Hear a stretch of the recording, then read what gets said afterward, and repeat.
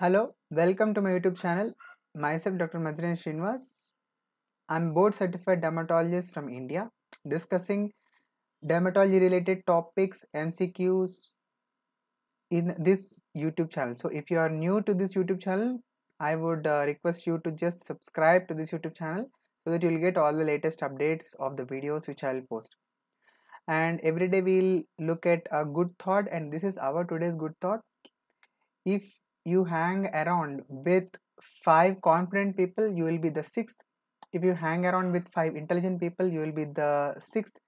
And if you hang around with five millionaires, you will be the sixth.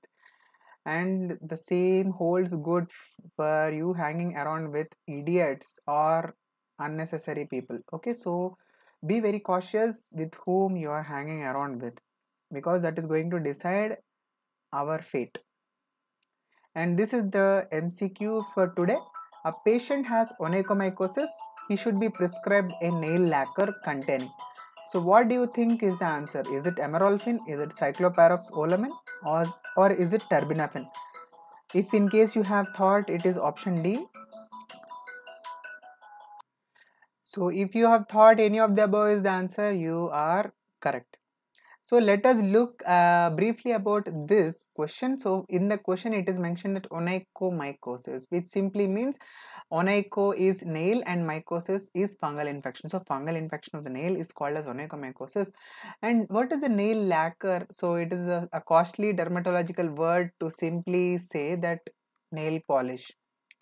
But since it is medicated, uh, you know, nail polish, it is given this special name called as nail lacquer and uh, so this nail uh, uh, fungal infection which you are able to see in the format of whitish yellow discoloration present over the lateral part of the nail lateral part of the nail and slightly distal part being inward so this type of onychomycosis is uh, called as DLSO that is distal lateral subungual onychomycosis. Subungual onychomycosis which is in short called as DLSO and it is the in fact the most common type of onychomycosis.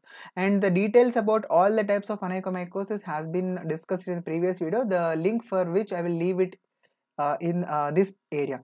And treatment for onychomycosis will be both oral and topical combination will be used and orally we prefer to use terbinafine over itraconazole and in the topical preparation uh, we cannot use creams or ointments because nail is very very uh, you know hard and it will not uh, allow any active ingredients to penetrate through its uh, surface. So we use what are called as nail polish or nail lacquers nail lacquers so what are all the nail lacquers which can be used? You can remember with the help of this simple mnemonic ACT so where A stands for amorolfine C stands for ciclopirox and T stands for terbinafine. So amorolfine ciclopirox and terbinafine the percentages are also in the same order of increasing 5 8 and 10 percent respectively.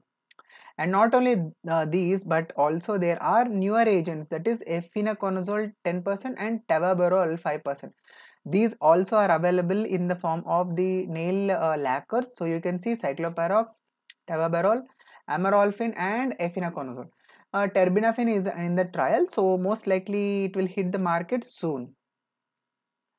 So this is the tomorrow's uh, question. Colpitis macularis is seen in which std so do leave your answer in the comment section. I will check your answers and uh, if you wish to join the uh, awesome telegram instagram youtube groups for dermatology related discussion you the links will be there in the description. Just uh, open the description and join with the help of all the links. And if you have any particular topic uh, of difficulty doubt which you want to dis me to discuss you can leave the topic uh, name in the comment section and i thank you so much for watching this video till this point. Please do like this video if you enjoyed this. And do remember to subscribe to my youtube channel and also to hit the bell icon. And uh, you can check out my previous videos here. This is dr maddineni srinivas your dermatology educator on the youtube channel. And uh, thank you so much for all your patient listening. Happy learning dermatology. Sarve jana sukhino bhavantu